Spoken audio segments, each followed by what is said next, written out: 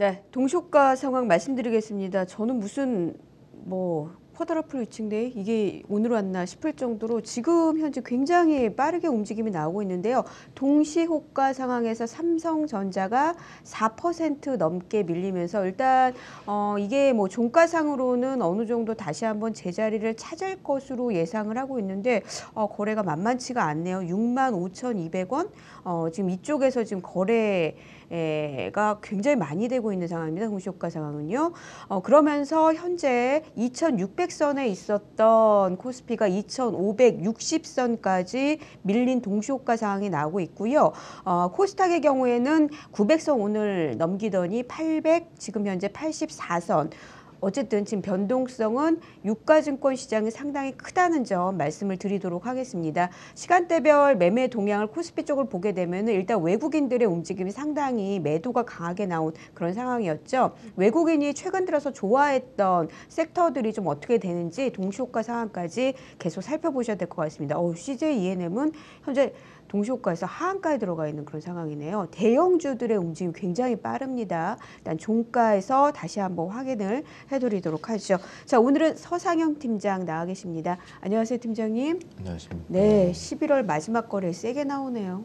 흐름이 아래로. 예, 요거 뭐 어느 정도 위치는 다시 한번 제자리로 찾아갈 가능성 뭐 많이 보시고 계시겠죠. 일단 나중에 종가 보도록 하고요.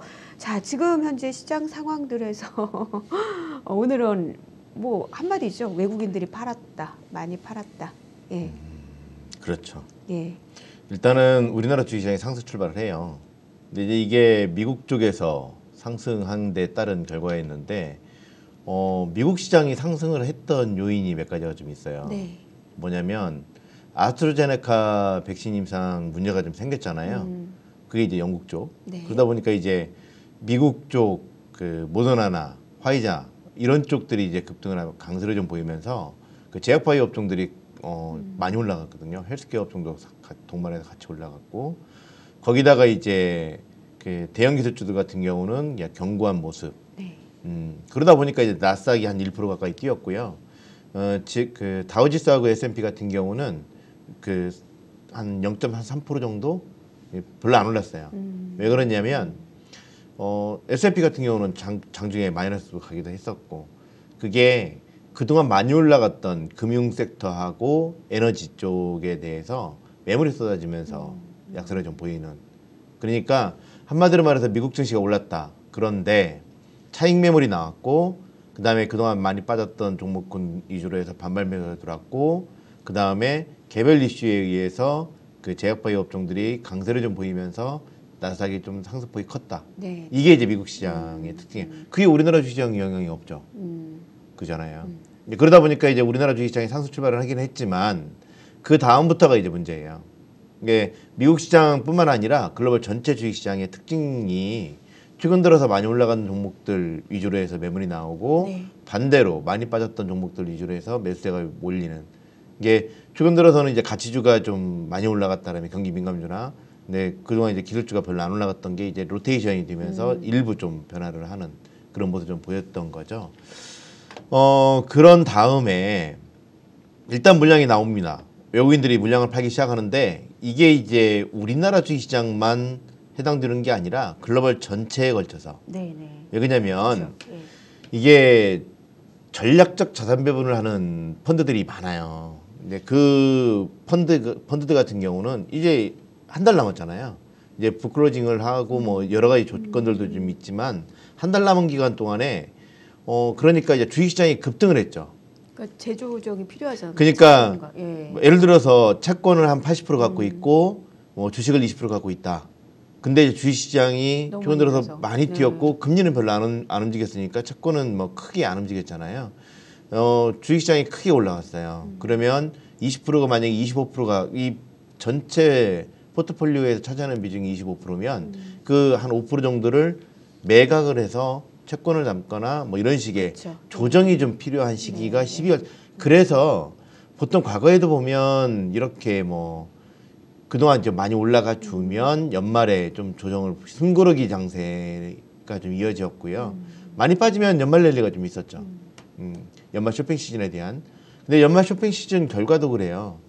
어 그 Thanks 그 블랙 프라, 블랙 프라이데이 때 네, 네. 그때 이제 오프라인 매매 오프라인 같은 경우가 한 25에서 26% 정도 감소할 것으로 전망을 했었는데 무려 51%나 감소해요. 네. 거의 안 움직인 거죠. 네, 네.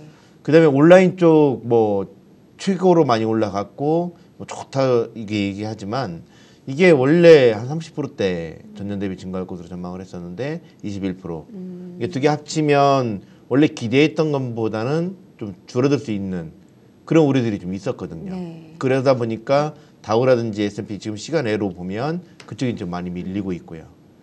이제 그런 움직임 속에 외국인들의 어, 매물이 좀 나오기 시작합니다. 그렇지만 이제 여전히 우리나라 주식시장은 어, 개인 투자가분들의 적정히 순매수로 인해서 낙폭은 제한됐었죠. 네. 그러다 장 마감을 앞두고 이게 왜 그러냐면요.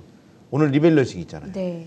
그 쿠웨이트 들어오고 뭐 하는 거. 음, 그 물량이에요. 이때부터는 그 물량이라고 보시면 될 것 같아요. 음, 그, 그 뭐냐, 대만. 음. 우리보다 먼저 끝난 대만 같은 경우도 약보합을 보이다가 장 막판에 한 0.5% 정도가 갑자기 더 빠집니다.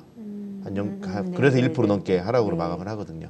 거의- 좀 밑에 끄트머리에서 빠진 거네요. 네네, 그러면 종가. 근처에. 예, 예. 이게 저희도 거의 그런 식이라고 보시면 될 것 같습니다. 음, 이제 그 흐름이 나오고는 있지만 뭐 여전히 매수가 좀 몰려주면 제자리를 찾아갈 수는 있겠죠. 네. 근데 이제 이렇게 빠지면 그 다음 날 뭐 미국 시장이 뭐 크게 빠지지만 않으면 다시 이만큼 동시효과 때 빠진 만큼은. 되돌려 되돌아가는 그런 과정이 좀 있기 때문에 음, 좀 더 지켜봐야 되겠죠.